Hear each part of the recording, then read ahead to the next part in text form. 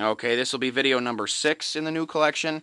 Uh, if you've looked at my other videos, you'll notice where those license plates are cleverly covering up the holes in the walls because I haven't had a chance to uh, repair them. I had, I believe, another simplex system there, and what I've done actually, my eight-year-old nephew needed a science project, so I decided that I would work with him and build him a fire alarm to demonstrate electricity.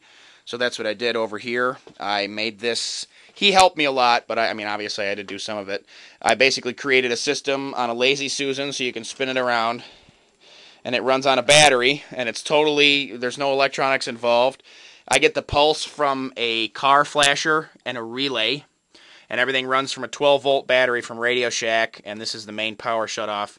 The reason I did that is because the rules said no electricity was allowed, so I had to run it all on battery. So I'll go ahead and turn it on and we get a I haven't put any of the labels on yet. This is actually going to be the normal light and this will be the alarm light and this will be silence and or this this won't be silent. This will be reversed. This will be normal and silenced.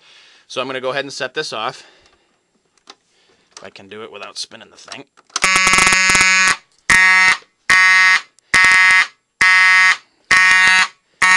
And then I can silence the horn and I made it so in this case there's two separate circuits. The strobe light continues to go off. The reason I did that was so that way, since it's going to be at a school, and as it ironically they have the same alarm system there, I don't want to cause any problems with anybody. So that's basically what I did.